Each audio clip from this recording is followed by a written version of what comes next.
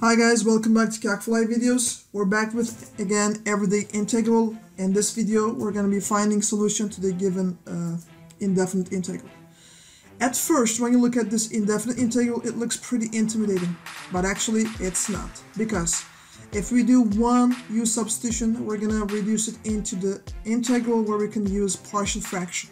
Okay, so basically, if I set u equal to sine x and differentiate, we get du equals cosine x dx.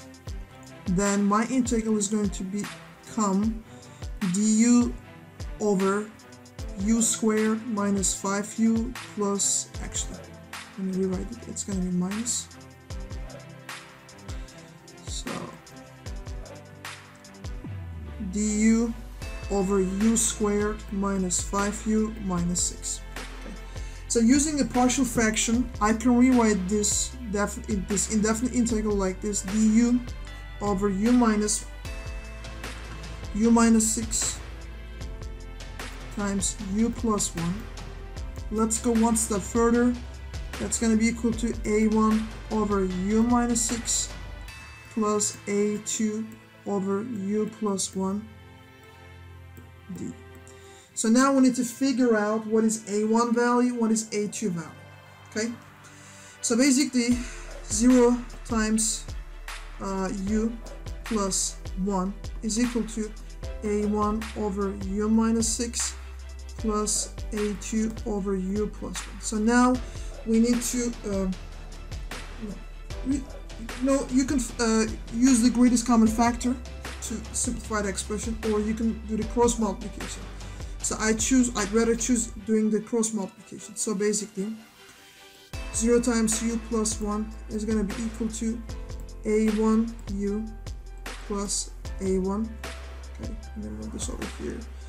And a2u minus 6a2. So now let's combine the u terms together. So u parentheses a1 plus a2 and plus a1 minus 6a2. So we know that a1 plus a2 is going to be equal to 0 because there's no u term. And a1 minus 6a2 is going to be equal to 1. Okay, so basically from here, from here a2 is going to be equal to negative a1. And if you put it into the second equation and solve it, we're going to end up with this. Uh, a1 plus 6a1 is equal to 1. So if you solve this equation for a1, you're going to get 1 over 7. For a2, you're going to get negative 1 over 7. Okay, so we got, we found uh, a1 value and a2 value. So let's go back to the original integral, but before that. So let me put a1 is 1 over 7, a2 is negative 1 over 7. And let me clean up this part really quick.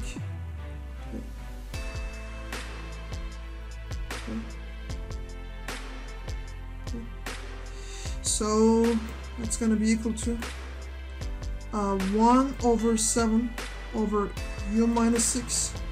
Okay, actually this is going to be minus. Actually, let's put negative 1 over 7 over u plus 1 du.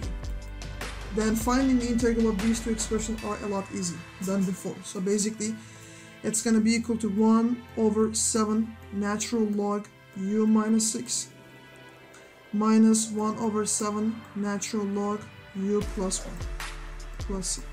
So now it's time to change u with uh, sine x because remember that we set sine x equal to u. So 1 over 7 times natural log sine x minus 6 minus 1 over 7 times uh, sine x plus 1 plus c. That's going to be our final answer. Okay. Alright guys, thanks so much for watching this video. If you liked this video, don't forget to subscribe, like, share, and comment. See you in the next video. Bye bye.